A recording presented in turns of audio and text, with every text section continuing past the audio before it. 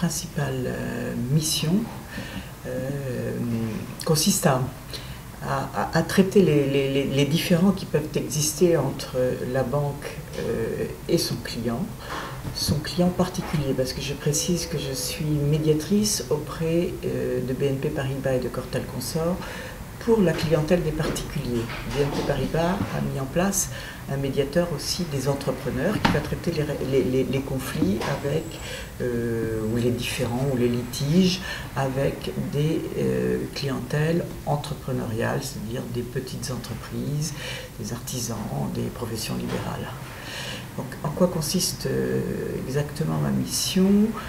Va être de, de mettre sur un pied d'égalité la banque et le client, euh, puisque vous voyez rapports de force qui sont un peu différents entre, entre une grande institution comme peut l'être BNP Paribas et euh, un client particulier.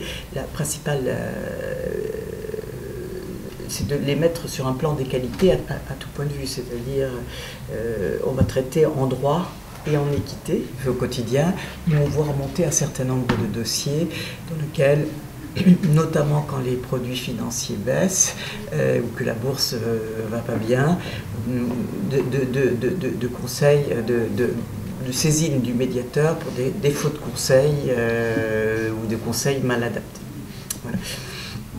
Donc on va faire un certain nombre de recommandations, par exemple sur les prêts, il y, a beaucoup de demandes euh, l'année dernière, nous avons eu beaucoup de demandes sur des prêts, enfin de, conflits ou de différents qui touchaient des problèmes de prêts notamment de prêts immobiliers, et ça touche en général des prêts un peu compliqués, où il y a euh, des reports d'échéance qui ne sont pas clairs, ou que, les, clients comprennent mal.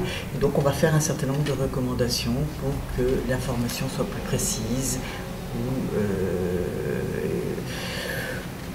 euh, fasse des simulations plus, plus, plus, plus, explicites aux clients pour qu'ils comprennent bien que quand il y a un report d'échéance, eh il y a des conséquences, ce n'est pas, pas gratuit. On vérifie éligible, non éligible. Si c'est éligible, je vais vérifier si les recours internes sont, sont, sont, sont épuisés ou non. S'ils le sont, je prends le dossier, j'écris au client et, je lui dis votre dossier est éligible. Je, me, tourne vers la banque pour avoir les informations complémentaires à celles que vous m'avez données et je traite votre demande. Et j'émets à ce moment-là, on rentre dans un processus euh, de traitement d'un avis. Ensuite, euh, si le processus, euh, si le dossier est éligible mais que les recours ne sont pas épuisés, j'écris au client en disant votre dossier est éligible mais je m'aperçois que vous n'avez pas épuisé les recours internes, je transmets le dossier à la banque qui va vous apporter une réponse. Si cette réponse ne vous satisfait pas ou si la banque ne répond pas dans les deux mois, vous pouvez vous adresser à nouveau à moi. Voilà. Ça, c'est le processus de traitement du dossier. À chaque fois, il y a, la, banque est informée de cette demande de médiation. Le client reçoit une lettre d'accusé de réception euh, dans les 2-3 jours de, réception de son Ensuite, une fois que le dossier est éligible et que les recours sont épuisés, nous rentrons dans le processus de traitement euh, du dossier du client et pour lequel ben, nous allons, alors en fonction de ce que le client demande, en fonction des documents qu'il nous envoie, euh, on va l'analyser, repérer les différentes dimensions du conflit, parce que souvent c'est un problème technique, mais il n'y a pas qu'un problème technique, il y a des problèmes de relations, il y a des problèmes d'incompréhension, euh, de texte.